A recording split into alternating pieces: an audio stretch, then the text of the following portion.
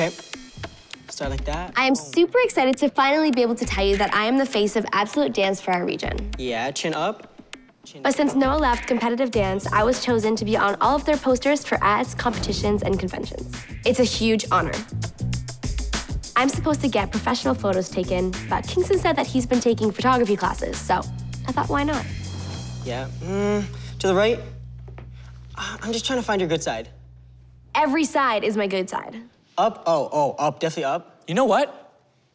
I think you should jump in the air. An action shot would be perfect. Wow.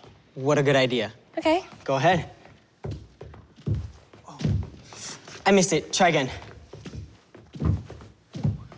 I missed that one too. One more time. You're jumping too fast. Maybe slow down. That's not how gravity works, Kingston. I'm basically a professional photographer. At the art exhibit at my school, an assistant to the assistant of someone who knew Ansel Adams said I had an innate talent. Kingston, I'm tired. Can I just see these photos?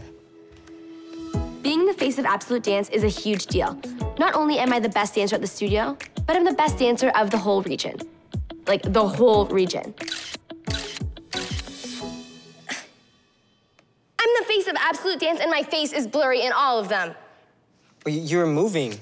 It's an artistic choice. Richelle, I'm a good photographer. Richelle. Richelle! What's our problem? The fame's gone to her face already. I don't know why I trusted Kingston. I plan on being a historic face, not just any run of the mill face. I need to think bigger. Oh. Oh, hey, there's Ozzy. What happened to his hair? Just take a seat. Okay, listen, that's Izzy, Ozzy's sister. Izzy, come here.